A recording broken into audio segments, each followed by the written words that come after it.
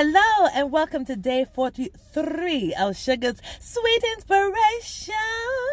So I went to midweek prayer and service at church because you know I need a recharge to keep myself going through the week. And the pastor talked about renewed passion and it really inspired me. So today's motivation, inspiration is what is your passion?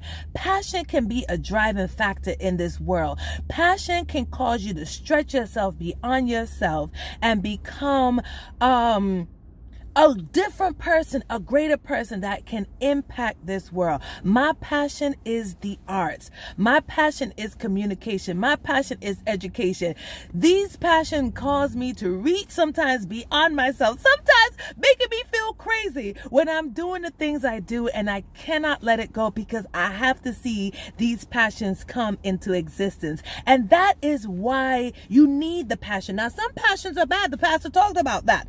All right. Some passions can make you do some crazy things, like the passionate person that can't understand the words like no when you say back down we not together those are not the passions i'm talking about the passions that inspire are the passions that lead people to be better than themselves lead people to impact and change the world Passions are Harriet Tubman, Frederick Douglass, Rosa Parks. Okay. Passion is Kobe Bryant. Okay. A person that kept on going despite all the odds to reach outside of themselves to change the world.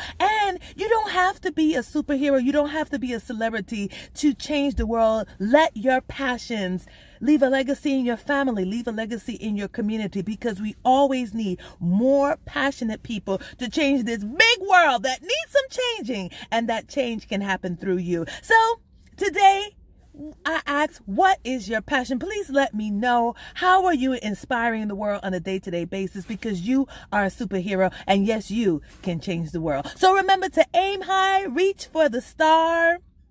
Love always, and I'll see you tomorrow.